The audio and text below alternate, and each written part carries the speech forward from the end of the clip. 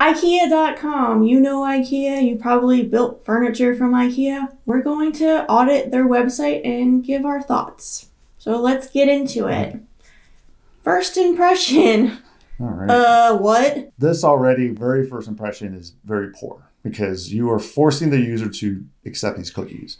And also, I don't really understand, like, what is this page? Yes, so I will click Find by Me, I accept. So, yeah, this is what you do when you get to the website. You have to choose what you want to do. So, I don't know. My first impression is what? Nine out of 10 people come to IKEA to buy something online. Right. That would be my first impression, not to learn about IKEA, a museum. No, I just want to buy a bookcase. I wait, what is IKEA at H22? I I don't care. there's a disconnect. now what you have to do is um, we're going to actually navigate the website as if we wanted to buy something. So now you have to accept where uh, what version of the website you want to go to. So we're here in the U.S. So you have to click this button right here. Um, so we are what two clicks in, and now th- this has a thing. a pop up. So they want to know our location. So I guess if they later down the process, maybe that would be to, um, you know, For shipping or yeah, something. three clicks. Um, okay, so here we are. Another click. I already accepted the banner or I already accepted the cookies down here. Um, great. I had to click again. As you can see, this, are, in our opinion, is not already a good user experience. You're four clicks in and you haven't even seen anything. So let's go ahead and just, uh, what do you want to do? Maybe just look at beds. Sure. Okay, so you click on products. Uh, where do we go? Beds and beds. That's a what? Seven clicks? Eight clicks? I can't even choose a bed yet. Like it should be at this point, at, at least I should be able to see all the beds, like you said, and filter them out. Right. Because now, if I want, let's say I click on a twin, but what happens if I made a mistake or I realize this isn't quite what I want? You have to then go Go back. back. Let's say I want a full size instead.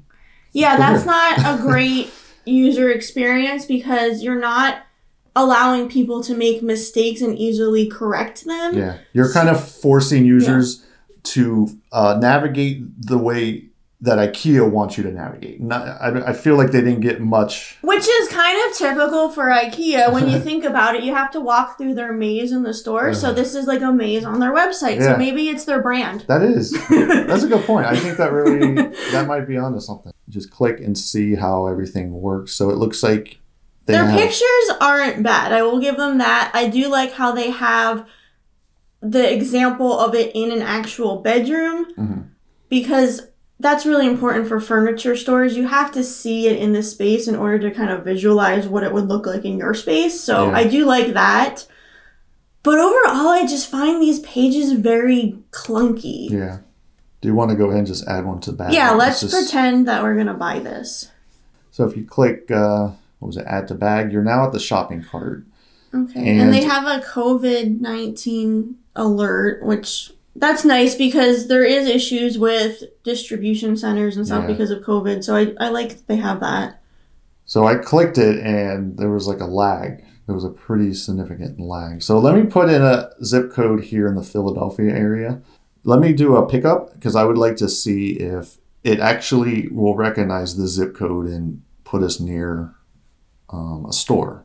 All right, so I click select a store and there, um, the, the Philly one doesn't even show up. yeah, the Philly one or the Conshohocken one, which is the other one, that's not even showing up. So it must be that maybe they don't have them in stock, but um, it just defaults us to Brooklyn. So that's that's not quite the best because if they don't have it at the two IKEAs near us, uh, just let us know. Then that would be, in my opinion, a better experience. So um, already, I'm not that impressed with the checkout process. It seems just like the rest of the website, a little, Little bit clunky. clunky and very laggy. Like I'm just clicking here and so let's say I do want to do delivery. They give you the options to select the date, the time, and then I believe you just click the rest of the process, would just click next, and then you put all this information in. So, um, so overall, navigating the website is kind of clunky. Now, let's say I'm a user and I don't want to actually order a product. I want to go back to that original home screen with all the different things showing up. Let's see if we can navigate back there. So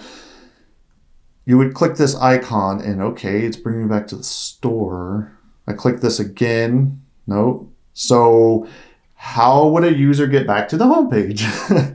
this I found out earlier is you have to actually go down to change country. That's how you navigate back to the IKEA homepage.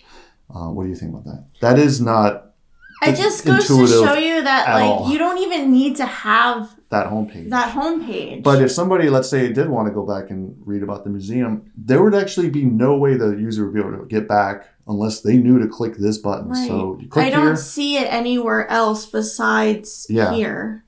So let's say we did want to go back and read about the museum. Okay. If you look up here, the domain is completely separate from everything else. So it's clear that IKEA built a website and then they just didn't want to integrate all of the different platforms together. So they just have like separate, separate subdomains and domain. It's a very confusing experience. Um, And then there's another pop up for cookies. Oh yeah, that was yeah, that's great. So it doesn't recognize the cookies in between the domains. So that's Which makes sense. I guess it's a makes- different domain, yeah. but it's So kind of like annoying. yeah, it's just you're making the user interact with things that you don't need to. So here's a whole completely different branded um, menu system compared to the rest of the website. Because if you remember, on the left side is where the pop up was. So on these other subdomains, it's a whole. It's literally a whole other uh, website. So the user now has to learn how to navigate um, a totally different system just because they're not they didn't organize their website correctly. Um, okay, so let's get back. Let's say I, I navigate here and I want to go back to shopping again. Okay, You same thing. I can't click the IKEA button to get me back. So how do I? I actually have no idea how to get back. Um, this is not scripted or anything. Um, You can't. yeah, you can't get back to the homepage. Hmm, that's not good. So, unless if I agree to this cookie, does it do something? No. No. Okay, so maybe on the footer, I can go back to choose country. No. Wow.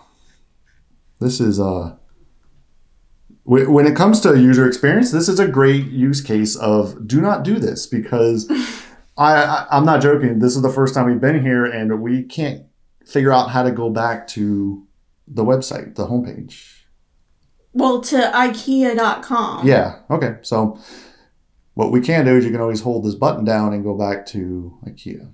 Um, okay. So that was fun. So let's go back into the store and I do like that they have a search function at the top because sometimes you know the specific name of the piece that you want to buy and you can just type it in there mm-hmm. and it will pull up all of those items.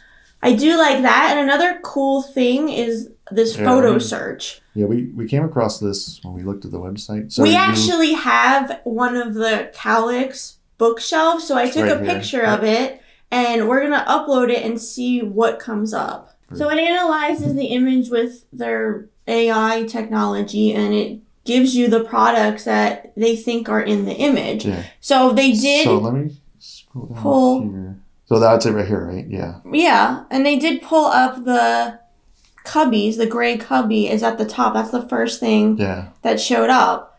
So it recognized what's in the picture. It Uh-huh. pulled up a planner too. So it probably thinks that the planners are from IKEA. I think they're actually from Home Depot. Mhm. But they look pretty similar. I would expect the Kallax bookshelf to, To be be first, yeah. one of the first things. So it maybe needs a little bit of improvement, but a pretty cool feature. Yeah. Now we're going to move on to the technical and the performance of the website.